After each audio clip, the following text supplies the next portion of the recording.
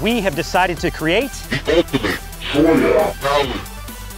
Welcome to the Sonoran Desert, one of the harshest environments in the continental United States. From the Gila monsters to the tarantula hawks, even the plants are out for blood.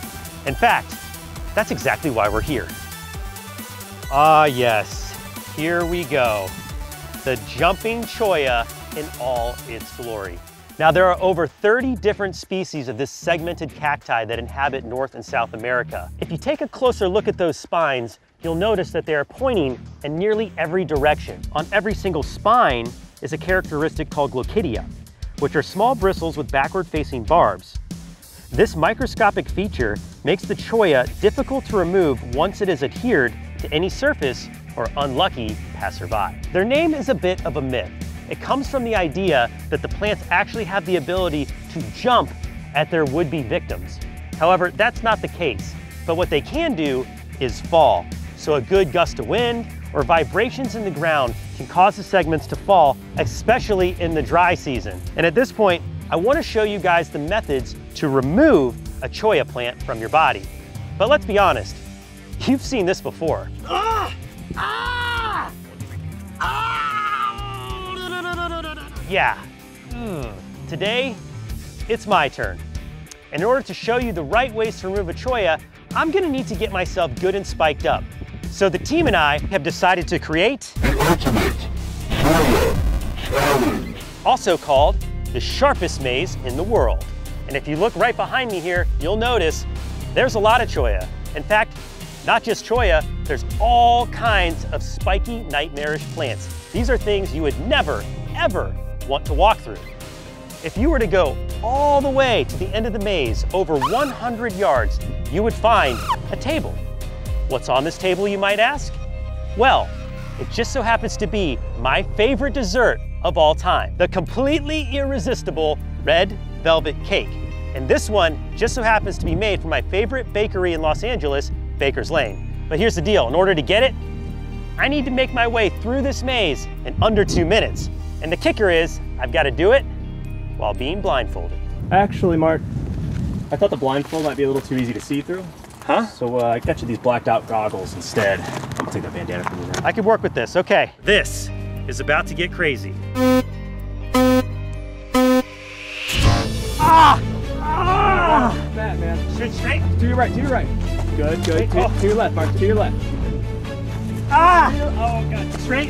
Yep, straight ahead. Oh, watch out for that one by your leg. Ah! Ah! There we go. We got a little bit of a clearing. Here. Check, time check. Uh, you got about minute 30. Ah! Oh, Ah! watch your chin. Ah! Which way?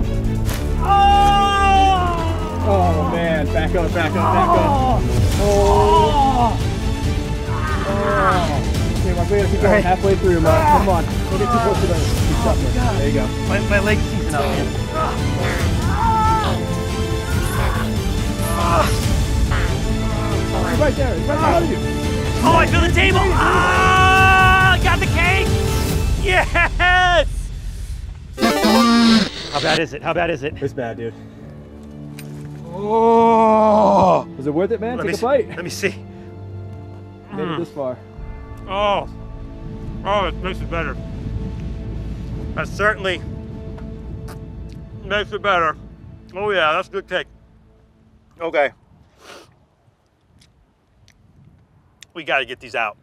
All right, I really need the stuff off the back. Ah! I'm just gonna keep going, man. Ready? Okay. Ah! Oh!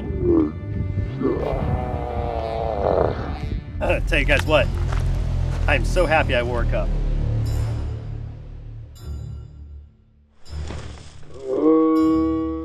So here we go. Now, as you can see, I only have the Cholla left that are on the front side of my body. And this is the point of the video where I would like to attempt to show you how, if this happens to you, hopefully it doesn't, but if it does, how to properly remove these Cholla with the least amount of pain possible. Even if you have gloves on, as you can see, these things go through boots, they go through fabric. So the number one thing you want to avoid doing, this is like rule number one with Cholla, you never, ever under any circumstances, try to remove Cholla with your hands. Don't use your hands, you want to use a tool. Now, what tool should you use? Well, I'm glad you asked. Corey, my comb, please. Thank you, sir. Work the teeth under the spines so you grab the Cholla, You can kind of see I've got the fruit pulling up now. One, two, three. If you're out here hiking the Sonoran Desert, pretty good chance you don't have a large tooth comb in your kit. But what you might have is something like this. The Brave Wilderness team never leaves home without a good multi-tool, and I highly recommend you do the same. So you wanna open, two points of contact, just like the comb, wiggle it in there.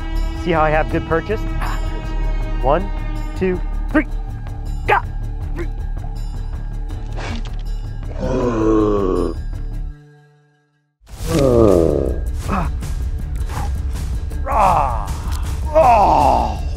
Okay, I think I need to get this one off. This is a good opportunity for me to show you yet another technique. Corey, sticks please.